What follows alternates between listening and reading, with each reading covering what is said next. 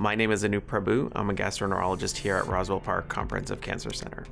So, Barrett's esophagus is the esophagus's uh, response to chronic reflux. So, essentially, the stomach creates copious amounts of acid. That's what's necessary to help with digestion.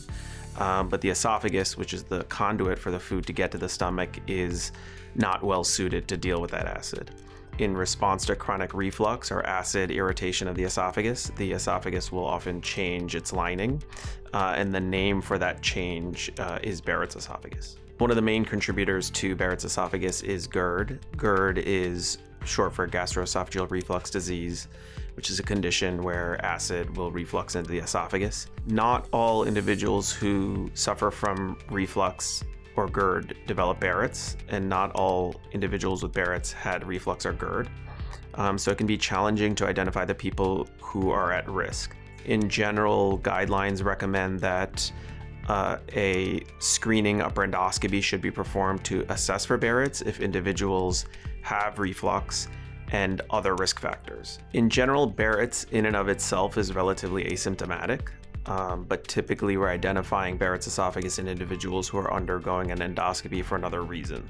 So they're having reflux, problems with swallowing, uh, chest discomfort, heartburn, those types of symptoms. Barrett's esophagus is considered a precancerous condition, though the vast majority of individuals with Barrett's esophagus do not actually develop cancer on average, for every thousand people in a year, approximately three to five of those individuals will develop cancer, so a very, very low chance. There are certain risk factors that can increase the likelihood that your Barrett's will become cancerous, particularly if there's presence of what's called dysplasia, which is a sign of advanced uh, Barrett's esophagus. In individuals who have high grade dysplasia, meaning dysplasia that's very close to but not quite cancer, uh, the chances of becoming cancerous uh, can be upwards of 15 to 20%. The most straightforward management of Barrett's esophagus is the initiation of a PPI or what's called a proton pump inhibitor. Those are acid medications that are often available over the counter, but by prescription as well. And those are meant to decrease the reflux and as a result, decrease the rate at which the Barrett's esophagus changes any further towards cancer. If a patient then shows signs of dysplasia, either low grade or high grade dysplasia, uh, then typically what we do is perform treatment to eradicate that Barrett's. Typically, the way we treat that is through a procedure called radiofrequency ablation. Um, that's a procedure where we uh, apply essentially heat or cautery on the Barrett's esophagus to essentially cause a bad sunburn. Um, that lining will kind of slough off and get replaced by tissue that's not precancerous. In some situations, if Barrett's has progressed to cancer and it's very early on, um, we're able to actually remove the cancer via the scope. In other words, without a surgery, without chemotherapy, uh, and provide a curative treatment with the scope alone.